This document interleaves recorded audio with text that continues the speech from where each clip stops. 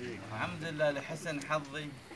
أكون اليوم مع أخي وصديقي والمحب معالي الوزير. وإن شاء الله لقاءاتنا تكون دائما. اليوم الإمارات اليوم الإمارات صباح اليوم الساعة تسعة أبى أتحدث مع معالي الوزير. رئيس الدولة الشيخ خليفة بن زايد الله يحفظه أصدر مرسوم. بأن يكون عام 2019 عام التسامح. عندنا كان 2017 عام الخير. و2018 عام الشيخ زايد اللي هو هذه نهايته. و2019 نفكر شو بيصير؟ عام الشوف كل عام نسميه باسم له رمزيته. مثلا مئوية الشيخ زايد 2018 كان.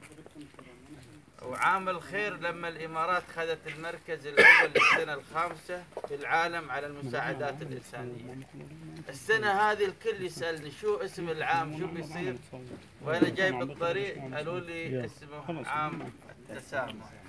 لأن بابا الفاتيكان راح يزور الإمارات في فبراير أول أسبوع من فبراير. فنحن دولة محبة للسلام. دولة محبة للإنسان. وفي نفس الوقت نحترم معتقدات وأفكار كل طائفة وكل طرف.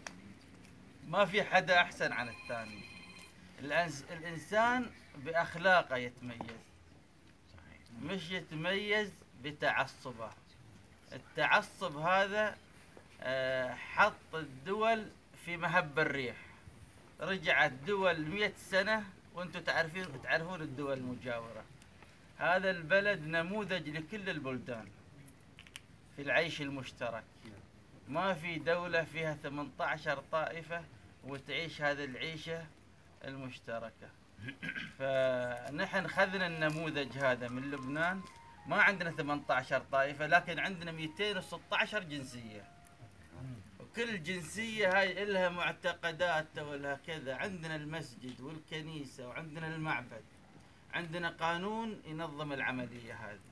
قانون ازدراء الأديان. لا حد يشتم دين فلان ولا علان. لهذا السبب الدول اللي حاولت تتجاوز الفكر التعصب والتطرف وأنه هو الصح وغير الخطأ الله يبارك فيها أما الدول اللي اشتغلت على الطائفية رجعت. فأنا اليوم مبسوط أن عام التسامح وما بينكم في هذا المكان الطاهر. بين هالناس الطيبين اللي زاهدين الدنيا في التعبد.